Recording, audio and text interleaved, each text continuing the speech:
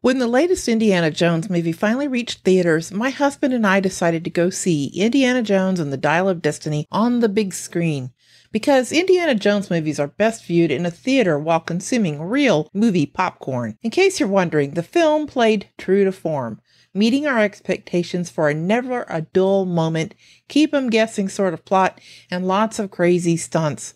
The movie includes all the stuff Indiana Jones is known for high speed chases, evil Nazis, mad scientists, arcane objects, snakes, bugs, caverns, planes, trains, and automobiles. This franchise understands the notes it must hit and the tropes it must include to meet fan expectations. It fits neatly in the historical fantasy subgenre that plays on historical events and pseudo scientific artifacts. So today we are going to discuss fantasy tropes from high fantasy to urban dystopia. Hey, Writing Pursuits authors, welcome back to the podcast. To those of you who are new, I want to extend a special welcome. My name is Kathrese McKee, and I'm glad you're here. If you are a writer seeking encouragement, information, and inspiration, this podcast is for you. Let's get to it. The fans of every fiction genre and subgenre have certain expectations, and most of those expectations involve tropes. Fantasy stories, at their heart, are intended to evoke wonder and explore imagination. There are familiar themes, motifs, and archetypes common to fantasy. However, these tropes never get old because they can be combined in countless ways to entertain us. Fantasy frequently involves quests or journeys, magical and supernatural elements, chosen ones and prophecies, and imaginary worlds and settings. Fantasy often includes creatures and races, fascinating beasts, and mythical societies. Nearly always, fantasy stories feature a battle between good and evil, frequently on an epic scale, so fantasy heroes and villains tend to be exceptional too. When I first started writing fantasy, I honestly didn't give a lot of consideration to the tropes and expectations. I just started writing the kind of story I wanted to read. However, I think it would have been much better if I had really considered and fully understood the tropes and expectations. I wouldn't have struggled as much in the beginning. The fantasy genre is huge, so I want to break it down into common subgenres. This isn't intended to be an exhaustive list because really, fantasy is only limited by the author's imagination. The first subgenre everyone thinks of when they hear fantasy is high fantasy. Think Lord of the Rings or classic Dungeons and Dragons quests. High fantasy is characterized by grand adventures in immersive worlds. Common tropes include protagonists who embark on dangerous epic quests and heroic journeys to save the world or at least to save their corner of the world. Magic and supernatural elements play a crucial role, often depicted through spells, mythical creatures, and enchanted artifacts. Medieval inspired settings are common in high fantasy, so castles and dungeons, knights, and feudal systems are prevalent. Often the weaponry is medieval too. Traditional fantasy includes races like elves, dwarves, orcs, or fantastical beasts like unicorns, griffins, and dragons. The battle between good and evil, often symbolized by a dark lord or a menacing force, is a recurring theme in high fantasy. Prophecies and chosen ones, where destiny plays a huge role in singling out the hero, is another frequent feature. To help you identify high fantasy, I'm going to list a few example titles. The Lord of the Rings by J.R.R. Tolkien, a Song of Ice and Fire, also known as Game of Thrones, by George R. R. Martin. You don't have to have RR as your middle initials, but it seems to help. The Wheel of Time by Robert Jordan. The Stormlight Archive by Brandon Sanderson. The Chronicles of Narnia by C.S. Lewis. And so on. So I hope that helps. High fantasy is the first thing folks think of when they hear you are writing fantasy but there are other subgenres. It turns out that my own series, the Martin Smart series, is low fantasy. So what is low fantasy? This fantasy subgenre is characterized by its grounded and minimal use of fantastical elements. Unlike high fantasy, low fantasy tends to be more rooted in reality, and it may incorporate elements of the supernatural or fantastical in subtle or limited ways. In low fantasy, the primary setting is typically the real world or a world that closely resembles the real world. My world in Martin's Mark is an alternative Earth. The animals are familiar rather than fantastical. The characters are human. The supernatural aspects of the series are restrained. Sometimes I wish I had incorporated dragons into this series, but it's way too late for that. One of the defining characteristics of low fantasy is its focus on the internal struggles and personal journeys of its characters rather than grand battles or epic world saving quests. The fantastical elements in low fantasy may be mysterious or subtle, often taking the form of folklore, superstitions, or glimpses of the supernatural. Magic, if it is present, is rare, dangerous, or hidden. Low fantasy stories explore themes such as moral ambiguity, human nature, and the blurred lines between reality and the supernatural. The tone of low fantasy can range from dark and gritty to introspective and philosophical.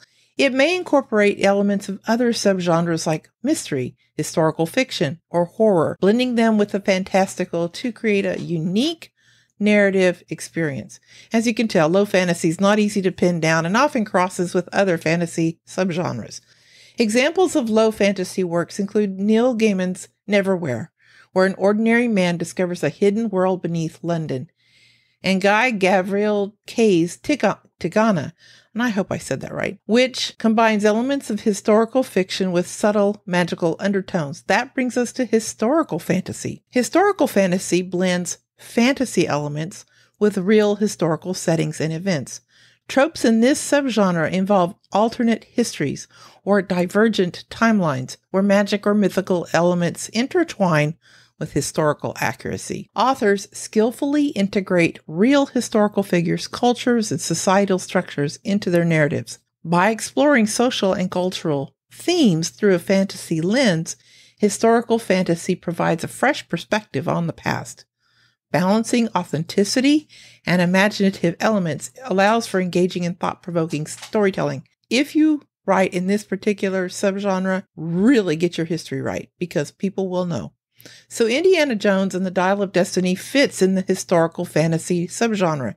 Examples of books that are historical fantasy include Jonathan Strange and Mr. Norrell by Susanna Clarke, Outlander series by Diana Gabaldon, and the Baroque Cycle by Neal Stephenson. Let's keep moving with the urban fantasy subgenre. Urban fantasy is one of my favorite subgenres, and that probably means I'm kind of messed up.